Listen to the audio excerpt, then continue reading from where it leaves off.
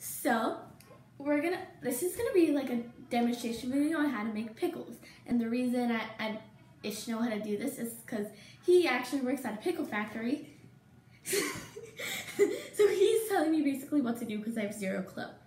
And he's, and that's why we have pickle jars and labels and stuff like that because he brought them home from work.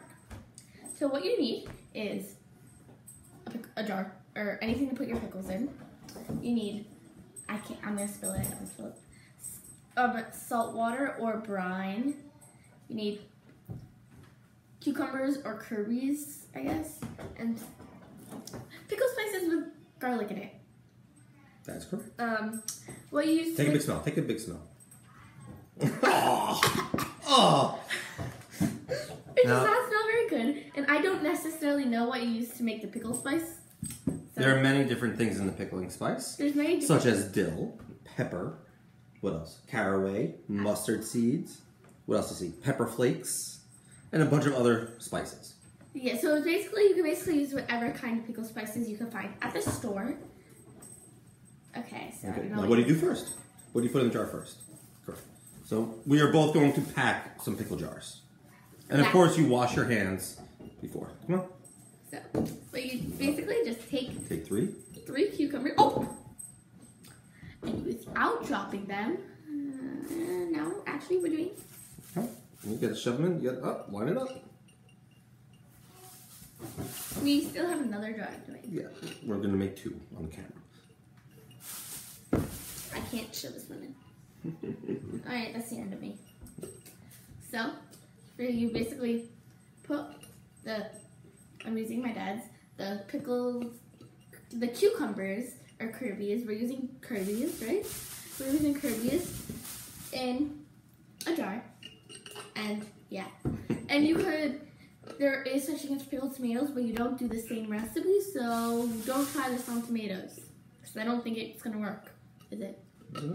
It's not gonna work. He said it's not gonna work. So now, what do we do? we put it in this plate. We have a plate. And we're putting it in a plate Just to keep it clean.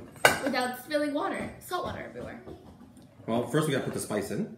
So, I'll do the spice. so then you take your pickle spice. Oh, wait, tell them how approximately how many Kirby's fit in a jar. Approximately seven Kirby's in a jar. So for Kirby's, we put exact uh, approximately seven, I guess, in, and you eyeball the spices, Eyeball the spices, about a pinch, and you and then and then you fill up the rest with the pickling brine. And for the spices, you eyeball it, I guess, however you. The ratio is supposed to be seventy percent Kirby or cucumber and thirty percent pickling brine. And how much percent That's it- um, that's it. spices. Just a pinch. And for the spices, you take a pinch and put it in. A big, a big pinch. a big pinch, like a child handful, an adult pinch. And then for the pickle brine, you fill it up till, till the top. And now you put Take the cover. pickle covers. Boom. and do it tight. And if you don't, you're obviously you're not gonna have jars at home. What do you? What can you use instead of jars? You have to buy a jar or a sealable container. A sealable container, like, and then you have some very fancy fancy labels that he made. Ah, can't see it backwards. It says Dr. Cooner's Snacks Class. He made them, not me. I have no clue what Oh. how to make it. And so obviously you're not gonna have fancy fancy labels, but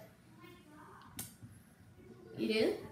And if you do, put them on and beautiful. And what kind of pickles are these? They are, Half sour pickles. and they will be ready to eat by tomorrow. By tomorrow, they're gonna be ready for you to eat. When, when I we say tomorrow, I mean the day after you make them. And that's it. Mhm. That's it. Simple. And what if you want to make sour pickles? If you want them to turn sour, you leave them out of the refrigerator for a week, and they will turn sour on their own. So after you, if you want them to turn sour, you put them in the fridge for one day, and you can eat them half sour, and then you leave them out for a week, and they'll become sour. And then that's it. Don't try this on tomatoes because it's not going to turn out right. Tastes different. Okay. So yeah, bye. So apparently, according to this label, Your poppy. what? Your poppy gave that. According to my grandpa, um, so this is like a family business, something like that. And so they wrote on their label, if you eat pickles for a hundred years, you will live a long time. I don't know, but eat pickles, kids.